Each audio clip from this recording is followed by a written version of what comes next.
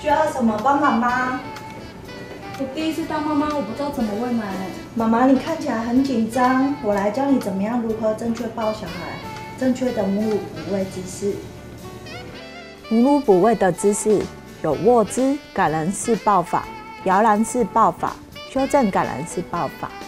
抱婴儿哺乳重点：宝宝的头和妈妈身体成一直线，上唇对着乳头，身体紧贴着妈妈的身体，手托着婴儿臀部。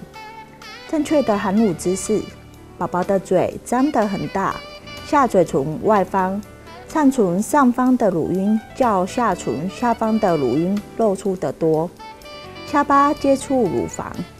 我的小孩一直哭，怎么抱他都不吸奶，怎么办？妈妈不要紧张，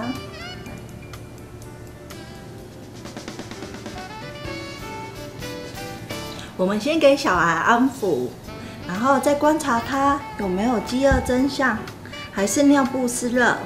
什么是饥饿真相啊？什么是饥饿真相？宝宝的嘴巴有吸吮的动作或声音，手靠近嘴巴，轻微出声或哭闹等。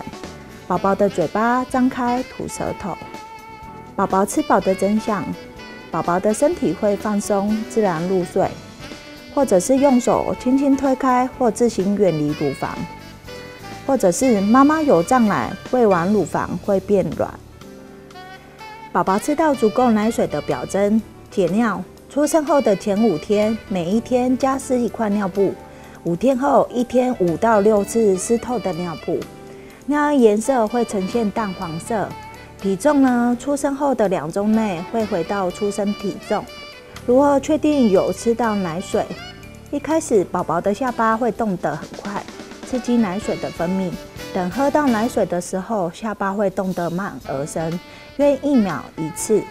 当宝宝吞咽时，动作会暂停，有时候暂停，或者是恢复成短暂又快速的吸吮，接着又是较深而沉稳的吸吮。那我要怎么挤母乳啊？手挤母乳的时机：当妈妈乳房肿胀时，宝宝不易含乳时，或者是妈妈的乳汁过多，宝宝未能吸吮。或者是离开宝宝超过两个小时以上，或者是妈妈乳房肿胀不适，婴儿太小，或者是生病，或者是乳头凹陷。挤乳前我们要洗手，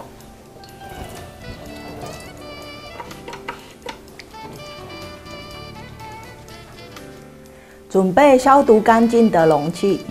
将大拇指、食指放在乳晕旁，其他手指头托住乳房，轻轻地往胸壁内压，再以大拇指、食指压住乳头及乳晕后方，反复压放、压放，避免压得太深，以免阻塞乳腺管。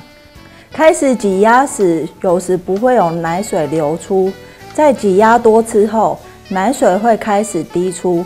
滴出的奶水，使用奶瓶收集，然后一边乳房至少挤压三到五分钟，直到奶水流速变慢，然后挤压另外一边，如此反复数次，挤奶时间约三十分钟。